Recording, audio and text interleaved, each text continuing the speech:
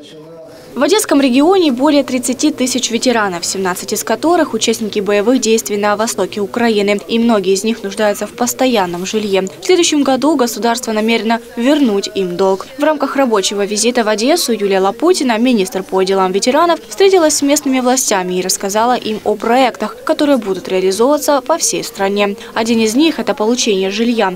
За счет того, что бюджет министерства на 2022 год составляет 6 миллиардов гривен, а не один, как в 2020 2021 в течение года квартирами будут обеспечены почти все, кто состоит в очереди. 170 сімей е, наших захисників вже цього року отримує житло. Більше того, е, бюджетом державним на наступний рік е, прийнято рішення виділити для Міністерства у справах ветеранів бюджет більше ніж 6 мільярдів гривень. Це безпрецедентний крок. Це перше в історії у нас в Україні таке відбувається. І 5,5 мільярдів гривень буде виділено саме для того, щоб забезпечити житлом наших захисників. Це майже всі вся черга. Кроме того, во время встречи ветераны обратили внимание министра на слишком высокие тарифы на газ и электроэнергию, поэтому попросили увеличить субсидию на коммунальные услуги. Сколько денежек сегодня выпадает на этого ветерана и, и какая там компенсация?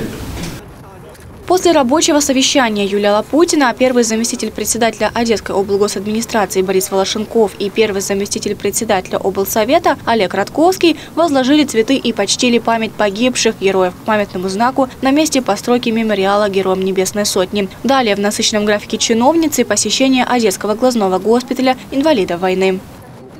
З 15 року, коли у нас був розпочалась така біда, саме бойові дії, Департамент плідно працює. У нас ідуть безкоштовні щомісячні діагностичні обстеження е, воїнів АТО, хірургічні втручання безкоштовно, медикаменти. І саме з пандемією нікому не було відмовлено, тому сьогодні саме налагоджена робота угу.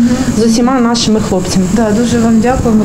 Далее отправляемся в Одесский областной госпиталь инвалидов и ветеранов войны, который находится на 15-й фонтана и сейчас в стадии активного ремонта. К слову, в министерстве обсуждают амбициозный проект – Центр медицинской реабилитации ветеранов. По словам Юлии Лапутиной, подобные центры должны работать в каждом регионе. Сейчас идет активная нормативно-правовая подготовка для реализации этой инициативы. По словам чиновников, если ситуация с COVID-19 нормализируется, то есть вариант, что именно госпиталь на 15-й фонтана станет базой для Центра реабилитации реабілітації.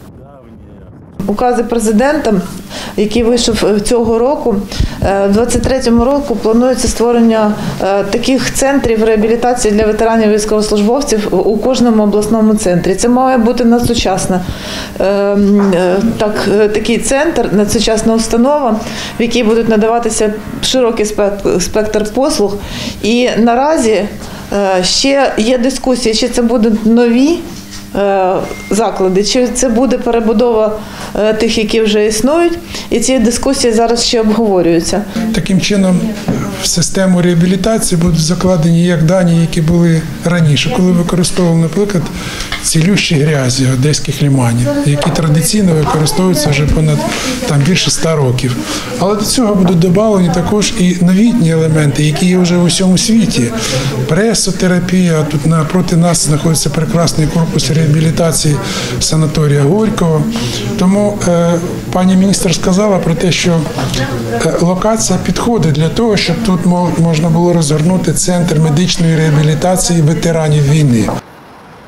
Напомню, что Одесский областной госпиталь инвалидов и ветеранов войны объединили с Одесским глазным госпиталем инвалидов войны. Такое решение приняли на сессии областного совета. Подальшому тут е, в їх положення буде входити е, надання реабілітації, паліатив е, сім'ям загиблих, інвалідам, ветеранам, учасникам АТО. Планується, мають пакети реабілітації, які підписані з Національною службою здоров'я. Пакет паліативний підписаний, терапевтичний та амбулаторний.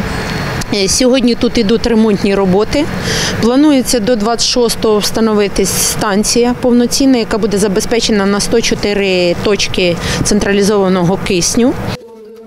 Более того, в министерстве рассказали, что до конца этого года заработает единый реестр ветеранов войны для расширения сервисов для этой категории граждан. А в следующем году ожидается запуск электронного кабинета ветерана – онлайн-платформы, которая облегчит решение многих проблем в жизни защитников Украины. керівництво